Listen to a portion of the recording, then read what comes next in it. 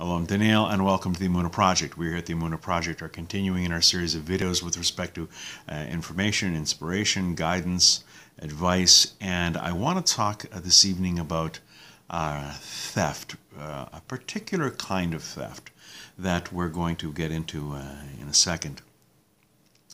Um, the Chofetz Chaim says that there's two kinds of theft.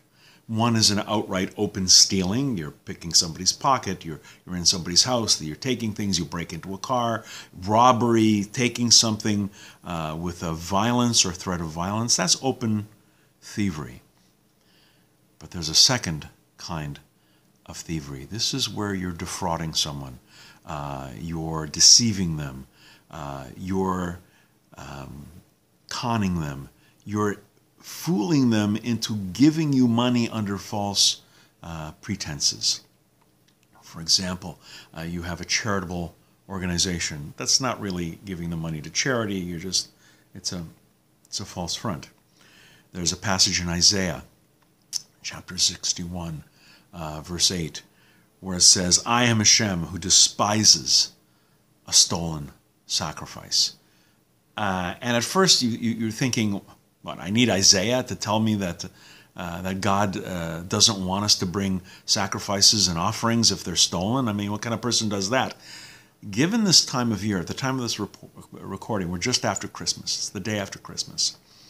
And I don't even want to think of how many poor and desperate people are uh, put into the position of shoplifting and stealing objects because they feel they need to give a gift to a child, to steal some uh, some clothing, a toy.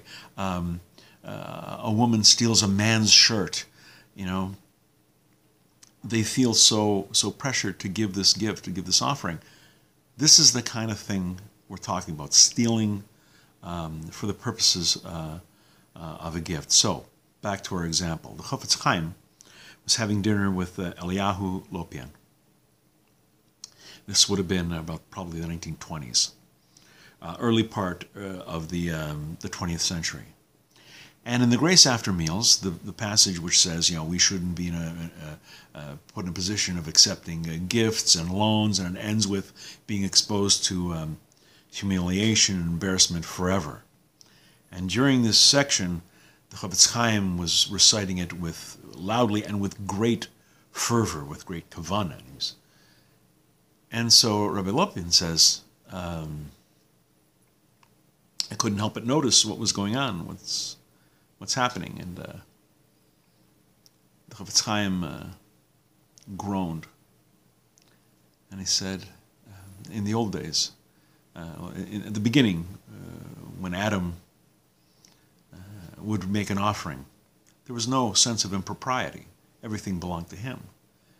Because nowadays, in this bracha, the uh, the first part, which appears to talk about this world, olam hazeh, you know, not being put in a position to accept gifts, and the later part being uh, exposed to embarrassment like forever.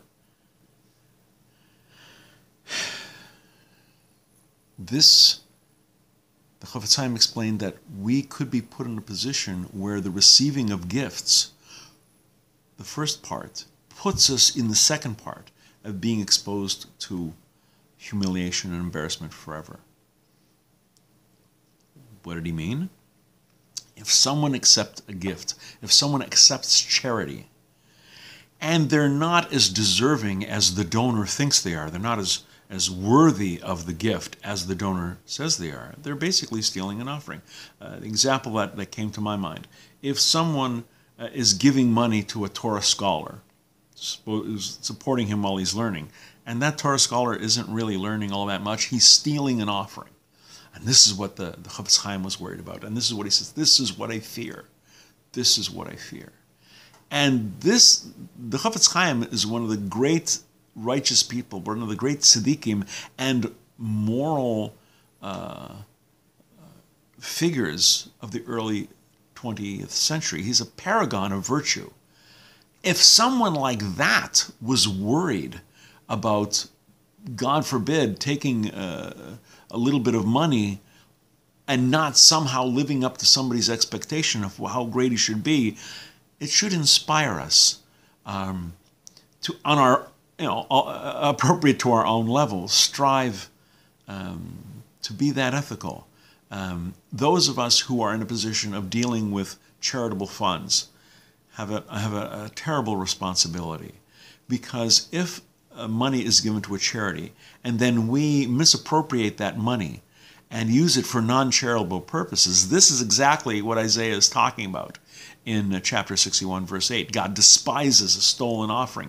People gave money to the charity presuming that it was going to be used for charitable purposes. If you take the money and use it for something not within, you know, the ambits of the purposes uh, of the charity, it's a stolen offering, a very big responsibility. Um, let us hold ourselves to a high standard, especially those of us who are in positions of trust. Um, let us try to be in our own level as, as moral and as ethical as the Chofetz Chaim and to fear the possibility, maybe, of, uh, of impropriety um, because we're so afraid of transgressing uh, the words of, uh, of Isaiah when God says uh, he despises a, a stolen offering. We're going to be doing more videos along these lines. Please come back, please watch, please learn. And until next time, on behalf of the Emunah Project, I'm Daniel, and thank you too much.